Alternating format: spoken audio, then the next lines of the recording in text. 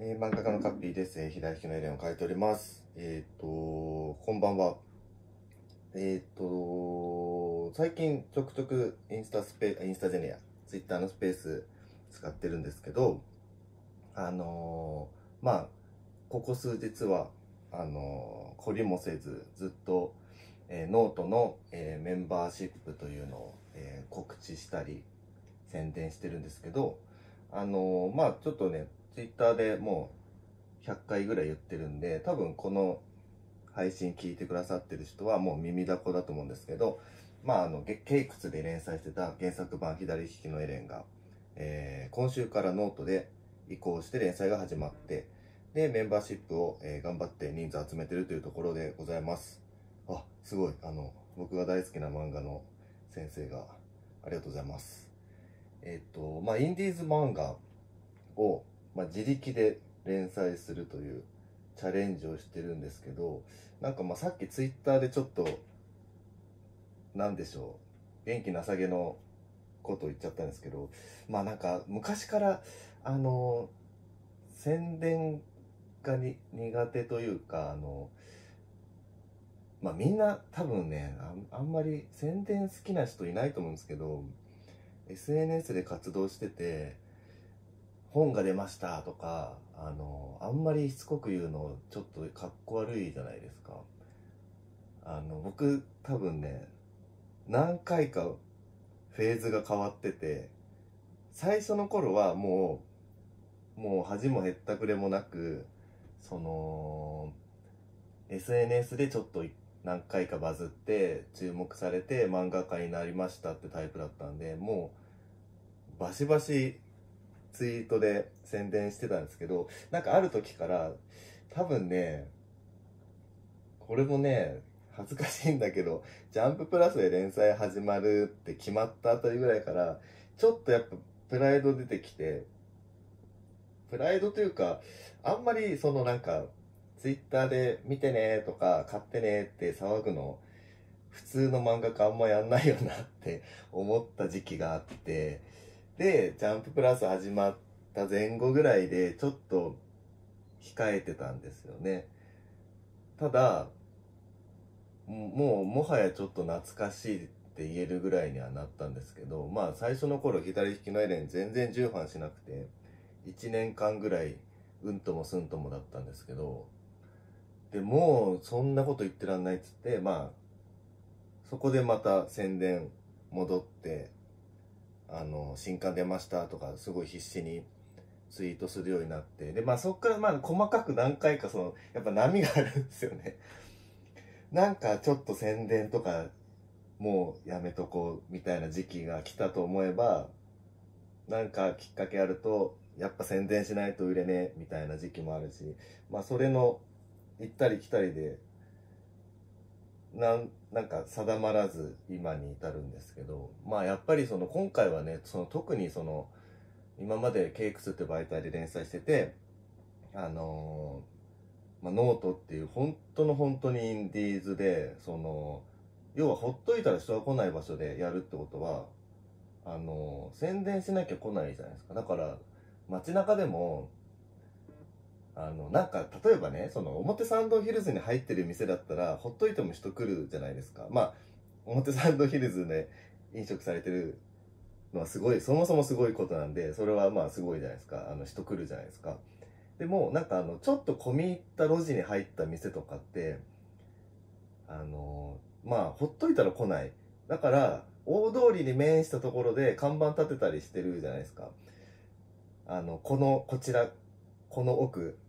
北欧カレーありますみたいな、なんかそういう看板大通りに面して置いてたりするじゃないですか。まさすがにノートはそっち系なんで、ほっといたら本当に人来ないと思うんで、そんで、しかもなんかちょっと、やっぱり今、あの、1680人集めたいってずっと言ってるのもあって、その、要は今原稿料、あの、なしからスタートして、まあ今おかげさまでその半分以上集まった、あの目標の半分以上集まったんで、本来これぐらい欲しいなっていう原稿料の50%はまあ確保できたので、あの、もちろんゼロじゃないんですけど、まあそういう条件で今、店を営業していかないといけないっていうことなんです。だからまあ、さすがにちょっとね、看板立てないでやったら、やっぱそれはね、バカだと思うんですよね。それは、かっこつけてる場合じゃないと思うんで、まあさ、俺しか宣伝する人いないんで、まあまあ、ナンバーナインとかね、その協力してくれてますけど、でも、これ、まあ別に言わなくてもいいことなんですけど、ナンバーナインは電子書籍を代行してる会社なんで、電子書籍売れないとナンバーナインは1円も儲かんないんですよ。ノートの売り上げいくら上がってもナンバーナインに1円も入んないんですよ。っていうか、むしろ多分、どっちかっていうと、ノートで読まずに電子書籍で読んでもらった方がナンバーナインは儲かるんですよ。なのに、協力してくれてるんですよ。だから、あの、まあ、大事にされてるなとは思うんですけど、うん。まあ、 cakes のね、あの、 cakes というか、ノートのね、人たちもあの、まあ、 cakes なくなっちゃってごめんなさいっていうのから、あのその今300話ぐらいあったんですけど、それの移行を手伝ってくれたりとか、あのまあね、ノートの社長の加藤さんとか、まあ、その幹部の人たち、 cakes 終わるって時に、あの、わざわざ家まで来てくれて、なんかあの、なんか、謝罪みたいな感じで家まで来てくれたんですよ。だから本当にあの、めちゃくちゃよくしてくれたというか、あの、あの大大事にというか重要視してくれてたと思うんであの本当にあの、ね、身の回りの人たちには感謝してるんですけどまあてな感じでそのまあまああのえっと漫画を描く以外は宣伝するぐらいしかやることなくてでまあ宣伝してもやっぱりほとんど効果はえっ、と、うん、効果がないというよりかは、えっ、と、めちゃくちゃ動いてくれたと思うんですけど、みんながん、なんか、入ってくれたし、なんなら、なんか、リツイートとかしてくれて、すごい好意的に、あの、応援してくれてると感じてるんですけど、あの、今、この話聞いてくださってる人たちとか、すでに入ってくれてる人たちって、あの、すでに動いてくれた人で、で、えっ、と、こっから先は、えっ、と、普段僕のツイッターあんまりちゃんと見てない人とかに知ってもらわなきゃいけないんだけど、あのーでも僕はそのツイッター熱心にフォローしてくださってる人にしか声かけれないじゃないですか。だからあの結構辛いのが、あの、いやもうその話100回聞いたし、あのもうなんなら入っメンバーシップ入ってるしっていう人たちに向けて同じ話をずっとしなしなきゃいけないというか、あの、しちゃう状況がちょっと申し訳ないなっていう感じがししてて、ちょっとさっきバット入ってたっていう。あの、いやーなんかこのツイートにファボとかリツイートとかしてくれてる人たちはもう入ってるよっていうので、何やってんだろうなっていうので、ちょっとなんかあの、気持ちがなんか弱、なんかちょっとね、弱まってたっていうか、ちょっとなんかあの、のれんに腕押し感を実感してました。まあ、なので、あの、えっと、まあ、いい、宣伝し続けなきゃいけない。さっきの裏路地でカレー屋やってるって例えで言うと、看板は出し続けなきゃいけないんだけど、えっと、もうすすでにお客さんとして来店してくださってる人に、なんか重複して、なんかね、チラシがこう投函されるっていうのはちょっとなんか、切ないなっていう感じだったんで、まあまあでも宣伝ってそうっすよね。ツイッターであの単行本買ってください的な全てのそういうあの反則活動ってそういうもんなんで、結局コアファンに何回も届いちゃって、で、挙句コアファンにちょっと鬱陶か、鬱陶しがられるっていう、なんか、でも宣伝しなきゃ売れないみたいな、なんかまあそういう中で、いや、宣伝って嫌だなって、やっぱり思ったんですけど、まあ今回に関してはね、ちょっとやるしかないっていうので、えっ、と、やってます。で、でですね、あのーこっからなんですけど、今日話そうと思ってたのは、えっ、とさっきツイートしたんですけど、あの原作版左利きのエレンの最終回を公開しますって、えータイトルにもしてるんですが、あのー、2年前か。2年前にクラウドファンディングやって、あの、原作版第1部の紙の本を販売したんですけど、その時にゼロ巻っていう形で、あの、一冊書き下ろしをくっつけたんですよ。あの追加特典ということで。で、その内容が、えっ、と、表向きゼロ感って言い方にしてて、内容はあんまり明かしてなかったんですけど、えっと、まあ、ポスト最終回というか、まあ、あの、最後のエピソードなんですよね。その時系列的に最後のエピソードなんですよね。あの、第1部のラストって、その、まあ、ごめんなさい。さすがにこの配信聞いてくださってる人は、あの、第1部ぐらいは、第1部までぐらいは多分見てると思うんで、ちょっと言っちゃうと、あのーまあまあ、2040年エレンの、まあ、回顧展があって、っていう、あの、2040年のシーンがあるじゃないですか。まあ、そこのお話をゼロ感として書いたんです。なので、あのーまあ、それを、まあ、インナーでは最終回って呼んでたんですけど、まあ、なんかクラウドファンディングでなんか得点つけたいねって言って、どんな話がいいかなって時に、パッと思いついたのが、なんか本当の本当に最終回を、えー出したい。で、僕が提案して、まあ、それをやったという形なんですけど、あのー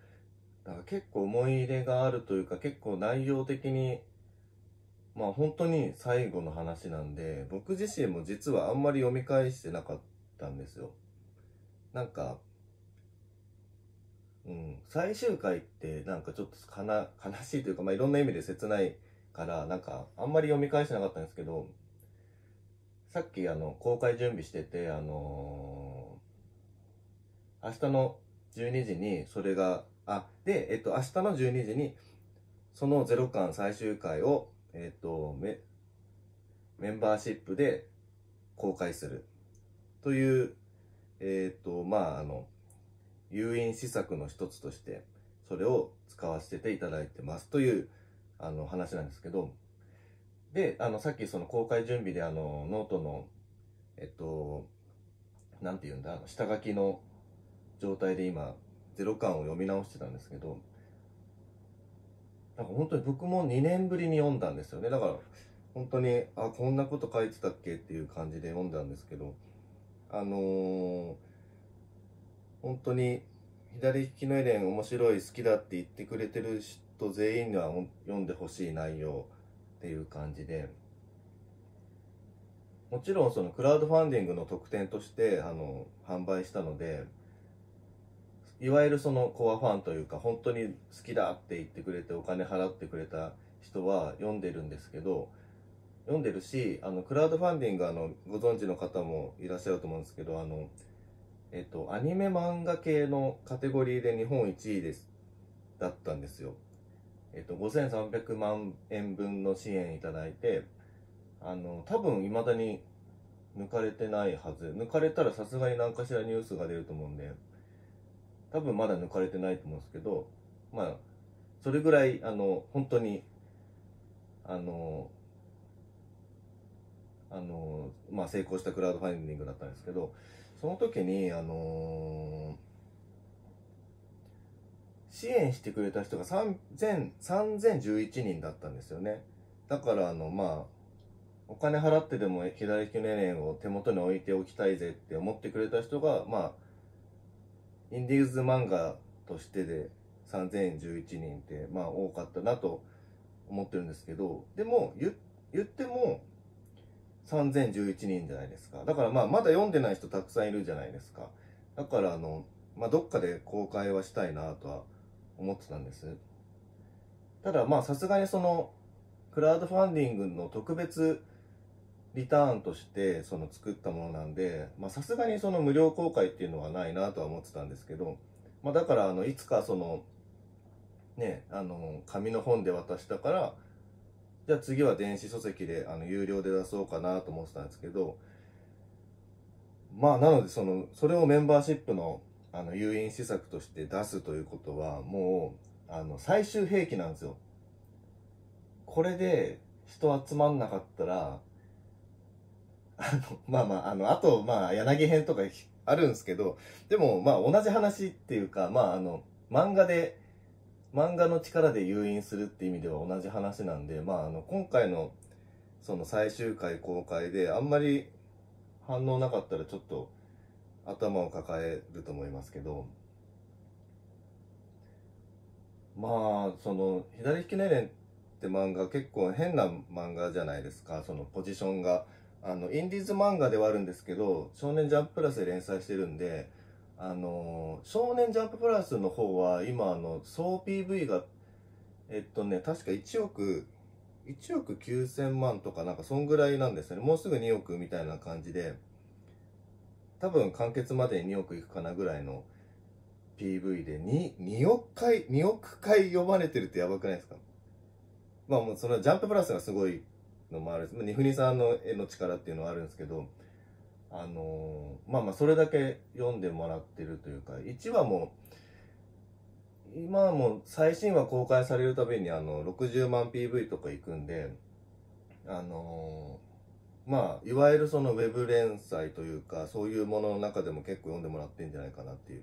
気はしてる。まあ、そのね、いかんせんね、少年ジャンププラスで連載してると、その辺が悪い意味で麻痺し、麻痺しちゃって、チェーンソーマンを見てくださいよ。もう、1話400万 PV とか言ってるもんで、あの、タコピーとかも300万 PV とかしたんで、あの、化け物とかのレベルじゃないんですよ、あれ。化け物オブ化け物で神なんですよね まあ、神だからしょうがないのか、神様と同じ媒体で連載してるから、なんか、60万 PV なんて、なんか、鼻くそって思っちゃうんだけど、そんなことないんじゃん。60万 PV、60万人も読んでくれたら、それもう、あの、あれじゃん、もう、成功者じゃん。なんかわかんないけど。いや、そんな贅沢、あの、こんな贅沢なことないじゃないですか。だからあの、僕は60万すごいなって思って、毎週60万人も読んでくれてるのすごいなって思ってるんですけど、ちょっといかんせんね、あの、競合が、同じ媒体が、なんか、魔の巣窟なんで、ちょっと、なかなか実感が湧かない日々なんですけど、まあまあ、あの、何が言いたいかっていうと、その、えっと、1話60万人見てたりとか、あの、まあ単行本もね、あの、おかげさまで一応累計、えっと、今、260万部あの、実はちょっと今、わざと言いましたけど、250万部から260万部になったんですけど、まだ一回も発表してません。ちょっとなんか単行本の帯に書くんで、多分、その時に言おうみたいな雰囲気になってたんで、ツイートしてないんですけど、まあ260万部いきました。まあ、なので、あの、そう考えると、えっ、ー、と、その漫画の原作版の最終回を3011人しか読んでないっていうのは、まあ、ちょっともったいないというか、もう多分今だったらもう少し読みたいって言ってくれる人いるんじゃないかなと思って、あの、まあそんな感じで、あの、ちょっとタイミングも2年前なんで書いたのが、まあタイミングも今だったらもっと喜んでもらえるかなという、えっ、ー、と、つもりで明日の12時、えー、メンバーシップ限定で公開します。ちょっとね、あの、無料公開はさすがに、あの、クラウドファンディングのリターンだった手前、ちょっと、で、あの、しづらいんですけど、あのー、まあ、メンバーシップっていう、その本当に連載を支えてくれる皆さんにだったら、公開しても誰も怒んないと思うんで、クラファン支援者も。ただね、その皆さん、お察しの通りだと思うんですけど、多分メンバーシップの大多数がクラファン支援者なんですよ だからあの、いろいろサービスです、食べてくださいって、もう一品です、つって、もう注文した商品をこう何度も出さ、出すっていう状況になってる可能性はあるんですけど、ただそれでも、あ、僕は食べてなかったです。よかった、食べたかったんですよって言ってくれる人が何割かいるんじゃないですか。だからその人のためにやり続けなきゃいけないんですけど、やっぱりね、その、うん、今来てくださってる方々、やっぱね、さすがにね、6年も連載してると、なんかね、やっぱアイコンとかが見覚えあるんですよね。あ、ツイッターでなんかよくシェアしてくれてる人だとか、あ、この人なんかあのサイン会来てくれた人だとか、なんとなくわかるじゃないですか。やっぱコアファンってなると、その、あ、いつもすみませんみたいな、なんかいつも同じ料理ですみませんみたいな感じがちょっとしてきちゃうんで、なんかね、やっぱ、まあ、柳編か。柳編を書けば、やっぱ一番喜んでくれると思うんで、柳編を早く書きたいんですけど、ちょっと、前も配信で言ったと思うんですけど、あのーやっぱりもう連載いける。あのーもう原稿料確保しました。もう何の心配もなく、左利きのエレン連載、連載継続ですってなってから書きたいんですよね。なんかこの今の結構不安定な気持ちのまま、柳編を書きたくないというか、ちょっと、もうちょっと時間欲しいというのが正直なとこなんですけど、いや、いつになったらなんかどっしり構えられるんですかね。なんかね、なんか漫画が描いてると、その、比べるとキリがないし、だって、もう、チェーンソーマンクソ面白いもんな。なんか、ビビったもんな、なんか。めちゃくちゃ面白くなかったですか、チェーンソーマン。4回読んだよな。チェーンソーマン第2部始まる前にずっと第1部読み直してたもんないやー、ほんとなんかジャンプラで連載してるとさ、自信なくなりますよね。みんな大丈夫なのかな？あの、あの神、神様が多分、ジャンプラスは4、5人いるんですけど、でも連載作品もっとあるじゃないですか。40、50ぐらいあるんじゃないかな、なんか。残りの3、40人は大丈夫なのかななんか、結構辛いっすよね、あそこ連載するの。よく俺メンタル持ってるよなって。メンタルだけはね、褒めてあげてください、なんか。まあそんな感じであのーなん、あれ？何の話だこれ？だからあの、上を見たらキリないし、なんか、いつになったらね、なんか、あのまあだからね、もう分かったんですよ。性格的になんかあの、先生みたいにはなれないっていうふうにもうはっきり分かったんで、あのやっぱ多動症というかなんかまあいろいろね、アパレルとかなんかあのいろいろ、あの、Webtoon の原作とかなんかいろいろ手出していろいろやって、なんか勝手に忙しくしてるんですけど、まあそういうタイプの人間なんで、なんかどっしり構えて大先生ですみたいなのは多分一生できないなと思って、まあそんな実力が追いつかないし、なんか雰囲気だけ先生気取ってもしょうがないから、まあだったらね、宣伝でも、宣伝の一つぐらいね、その、やんなきゃなっていう感じですね。いや、来週20、20じゃねえ、来週37歳ですよね。今20って言っちゃったけど。来週37でさ、もう、大丈夫なんですか？ここんな37歳でいいのかなっていう気がしてるんですけど、こんなになんかあの、日々焦ってる37歳いるのかな？1時間おきにあのメンバーシップの人数見ちゃうんですよね。見、見るぐらいは、まあ、見るだろうけど、みんななんか、大丈夫かな？増えてるかな？とか言って、こう、見ちゃうんですけど、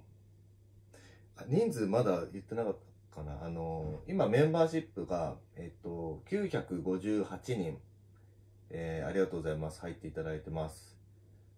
で、目標が1680人なんで、あの、まあ、半分は超えてきたと。で、なんか、なんとなく、あのね、あの、日付変わるぐらいになんか1000人いってたら気持ちよく寝れるなと思ってたけど、まあ、そう、都合よくはいかないですよね。まあまあ別に今夜1000人行くかどうかって別に何の関係もないんで、あの別にいいんですけど、なんか気持ち的にね、このジンクスで、なんかさっきもツイートしたんですけど、あの、今日中に1000人行くと思いますか？はい、いいえ、みたいな。なんかその願掛けじゃないけど、今日1000人行った行ったら、きっとうまくいくみたいな、なんかそういうのを毎日思っちゃってて、なんか。で昨日も、昨日中に800人行くと思いますかってツイートしたんだけど、昨日はね、あの、1時ぐらいに、あの、800人達成したんで、まあ、一応寝る前だったんで、あの、寝るまでがその日なんで、まあまあ、あの、達成したかなと思いました。で、勝手に納得して寝ました、昨日は。まあ、そんな感じで、えっと、あと2分で、あの少年ジャンププラスの方が、えー最新話更新されるんで、こん今日の話はね、あの、原作にない話なんで、ぜひ、読んでほしいです。いやー、ちょっとね、いろいろ立て込んでるというか、あの、来週も、てか3連休なんですね、さっき知った。3連休って知らなかったんですけど、3連休なら漫画を読もうっていうのをね、みんな、えっ、と、合言葉のように、こう、言っておいてください。左利きのエレンって漫画が、あの、メンバーシップ始めたよってなんか、隣の、隣に座っている人に言ってください。えー、3連休で開けたら結構またバタバタしちゃうんだよな、来週。なんか15分の長女たちも、あのこれちょっと多分まだ言っちゃいけないんだけど、まああの、えっと、あまあやめときます。はい。まあまあ、あの、ちょっと、えっと、3巻出るんですけど、来週。すごい、15分の方の宣伝を一切してなかったわ。あの、来週3巻出るんですよ。あの、お願い、お願いします。めちゃくちゃ今盛り上がってるんで。あの、まあ、その15分の少女たちの3巻に発売合わせてちょっといろいろ、あの、大きな施策とかあったりします。ので、えっと、そういう告知もしなきゃいけないです。もう、俺告知屋さんなのかな？自分の告知するだけで一日終わるんだけど。えー、そんなぼやきをしてる中で、えっと、もう日付変わって、えっと、ジャンププラス更新されたと思うので、よかったら、えー、ジャンププラス読んで寝てください。あと、もし、まあ、もういいや、メンバーシップ、今、メンバーシップ入ってくださいって言おうと思ったけど、まあ、きっと、今聞いてくれてる人はもう入ってくれてるし、単行本入ってくれてるか、まあ、単行本読んでるか、まあ、本当に皆さんにはもう、あの、十分していただいてるんで、もう言いません。あの、いつもありがとうございます。えー、じゃあそんな感じで、ジャンププラスを読んで、えー、良い3連休をお過ごしください。えー、お疲れ様でした。おやすみなさい。